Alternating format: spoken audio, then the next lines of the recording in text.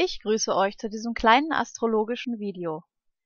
Ich habe den Jahreswechsel zum Anlass genommen und mir mal das Radix für das Jahr 2013 angeschaut. Wie komme ich zu einem Radix für das Jahr 2013? Ich habe mir überlegt, wenn es für alles ein Radix gibt, für alle Menschen, für alle Tiere, für Ereignisse, für Börsenkurse, für alles, was man herstellt, Wäre es denn nicht auch vielleicht möglich, dass es ein Radix für ein Kalenderjahr gibt? Denn wenn wir uns überlegen, dass ein Kalenderjahr ein im Geiste erschaffener Zeitraum zwischen zwei Momenten ist, dann müsste es doch dafür auch ein Radix geben, welches das Grundpotenzial, die Grundenergie des Jahres anzeigt. Also quasi das, woraus man etwas machen kann. Und deswegen habe ich mir einfach mal den 01.01.2013 herausgepickt, 0 Uhr, und als Ortschaft in diesem Fall meinen Wohnort Hallberg-Moos bei München genommen.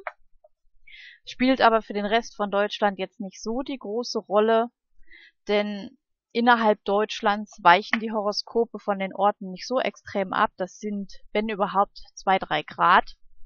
Ist also nicht so entscheidend.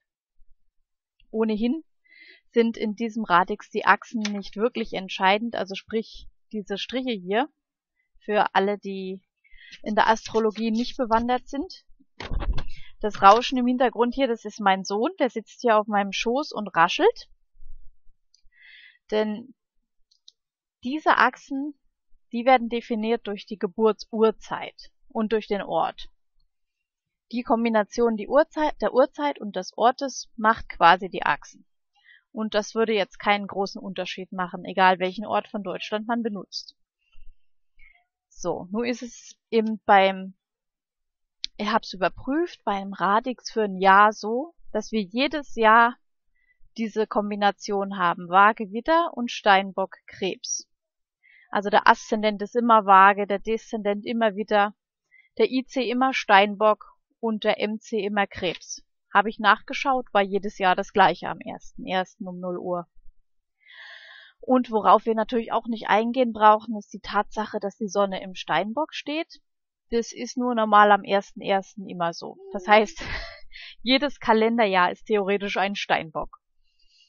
Was natürlich darauf schließen könnte, dass der gregorianische Kalender als solcher eine sehr starre, stabile Angelegenheit ist, also sprich jedes Jahr hat den gleichen Ablauf, der gregorianische Kalender funktioniert immer, ohne Abweichungen, ist also stabil, unbeweglich, somit auch etwas unlebendig im Vergleich zu anderen Kalendern, sei es der Maya-Kalender, der Mondkalender, keltische Kalender.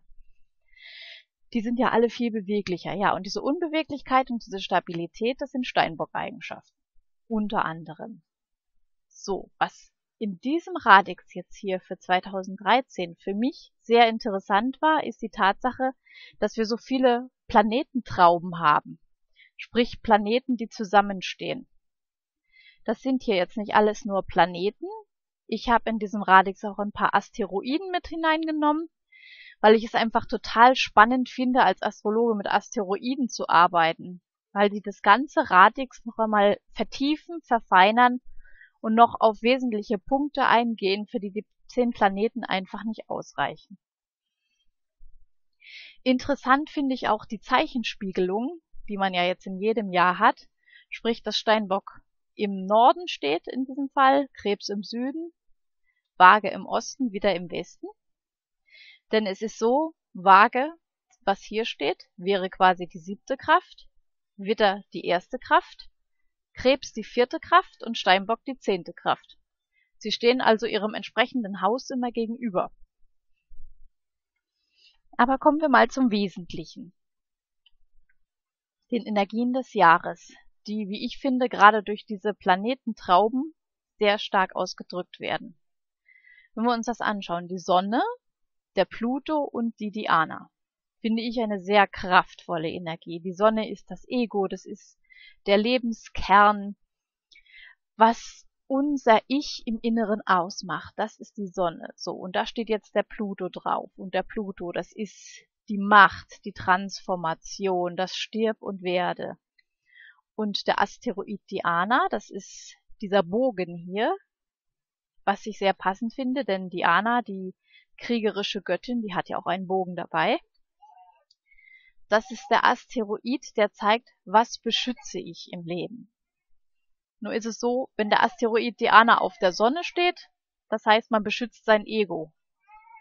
Nun ist durch den Pluto ohnehin schon ein besonders starkes Ego ausgeprägt und wenn da auch noch der besondere Schutz drauf liegt, dann können wir damit rechnen, dass wir es in diesem Jahr mit ziemlich starken Egos zu tun bekommen oder selbst ein starkes Ego haben. Weiter sehr kraftvoll ist diese Konstellation der Mars zusammen mit dem Eros, das ist der Eros, das Herz mit dem Pfeil, und dem Ikarus. Der Eros steht für Leidenschaft, der Mars ist der Krieger und der Ikarus ist die Freiheit. Daraus könnte man zum Beispiel schlussfolgern, dass die Menschen sehr leidenschaftlich agieren in diesem Jahr, sehr viel Power haben und dass sie sehr für ihre Freiheit eintreten, sehr daran interessiert sind, mehr Freiheit zu erlangen. Denn die Freiheit, die ist ja wirklich in keinem Land wirklich gegeben. Auch in unseren modernen Ländern, wenn man ein bisschen die Augen aufmacht, sieht man, Freiheit existiert im Grunde genommen nur sehr eingeschränkt.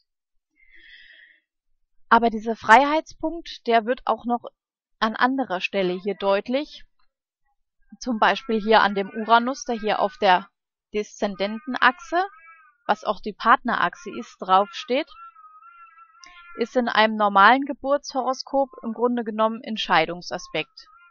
Man könnte zum einen davon ausgehen, dass in diesem Jahr viele Scheidungen stattfinden, aber ich bin ja optimistisch, ebenso könnte es bedeuten, dass einfach viel mehr Freiheit in den Partnerschaften gelebt wird. Denn wenn wir uns überlegen, dass die wahre Liebe ja Freiheit bedeutet und nichts festzuhalten, weil Liebe einfach ist ohne Bedingungen, dann wäre es doch im Grunde genommen ein sehr, sehr schöner Gedanke, wenn diese Freiheit tatsächlich auch in den Beziehungen und Partnerschaften gelebt werden könnte. Wenn man einfach dem Menschen, den man liebt, ein bisschen mehr Raum, ein bisschen mehr Luft und auch ein bisschen mehr Individualität schenkt und dadurch diese ganzen Eigenschaften auch selbst erhält. So, das nächste, was wir hier zusammenstehen haben, das ist eine sehr spirituelle Planetentraube, könnte man sagen. Das ist der Neptun. Der Neptun, das ist das tiefe Meer, die Spiritualität, die Gefühle, die Hellsicht, die Träume und dabei stehen der Asteroid Amor. Der steht dafür, sich an andere Menschen zu verschenken, für das Mitgefühl, für die sozusagen die altruistische Liebe. Und der Chiron. Und der Chiron ist der große Heiler. Das bedeutet, dass in diesem Jahr spirituelle Heilkräfte und der Dienst am nächsten ganz besonders wichtig sind. Und dass uns das viel mehr begegnen wird als in den vergangenen Jahren. Wir haben ja seit dem 21.12.2012 auch neue Energien, viel stärkere spirituelle Energien und die können durch diese Konstellation nur begünstigt werden. So, über den Uranus an Partnerschaftsachse habe ich schon gesprochen. Dann haben wir hier eine interessante Zusammenstellung, das ist der Jupiter. Dann das hier, das ist die Lilith. Und der Asteroid hier, das ist die Vesta. Nur ist es so, die Lilith, die steht für eine starke weibliche Frau, für die wilde Frau, für diese Urweiblichkeit. Und die Vesta, die steht für die Priesterin, für das Herdfeuer, aber auch vom astrologischen her für Arbeitsenergie und für Reinlichkeit. Passt ja auch sehr zu diesem göttlichen Feuer. Wenn wir uns jetzt überlegen, dass die urweibliche Kraft auf der Kraft der Priesterschaft und der Göttin steht, können wir in diesem Jahr einfach sehr viel stärkere weibliche Kräfte zu spüren bekommen, als es in den Vorjahren vielleicht der Fall war, dass das Patriarchat noch ein bisschen an Stärke verliert und die Ausgewogenheit ein bisschen stärker zum Tragen kommt. Es soll ja auch nicht in die Gegenrichtung fallen. Wir wollen ja gern eine Gleichberechtigung haben zwischen den beiden Polen, das wäre ja das Schönste. Da muss man immer ein bisschen aufpassen, wenn der Jupiter dabei steht, denn der steht für das universelle Wachstum. Wo Jupiter ist, da wird alles aufgeblasen, alles ganz viel, alles ganz groß. Der ist einfach immer für das Plus. Und natürlich ist es schön, wenn die weiblichen Urkräfte wieder wachsen, aber dass sie nicht übers Ziel hinausschießen. Dann haben wir hier etwas sehr Schönes, den Mond im elften Haus im Löwen. Der Mond ist das Seelenleben. Wie drückt sich die Seele im Jahr 2013 aus? Und der Löwe, das ist ein sehr romantisches Mondzeichen. Das bedeutet, man ist offen für Champagner und Kerzenlicht, für Rosen, für alles Schöne, Sonnenuntergänge. Die Menschen können sich in diesem Jahr mehr darauf konzentrieren, das Leben zu genießen. Was meiner Meinung nach schon immer der Sinn des Lebens war, es einfach zu genießen. Und der Mond im elften Haus ist wieder so ein Freiheitsaspekt, denn dieser Mond sucht tatsächlich die Freiheit. Freiheit ist ja auch unser eigentliches, unsere eigentliche Kraft, das, was uns ausmacht als seelische Wesen. Ja, dann haben wir noch hier unten eine interessante Konstellation. Das ist hier die Venus zusammen mit dem Hidalgo. Das ist dieser Pfeil hier.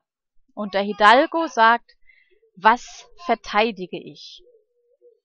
Das bedeutet, in diesem Jahr wird die Liebe, die persönliche Liebe, das, was man schön findet, was einem wichtig ist, besonders verteidigt.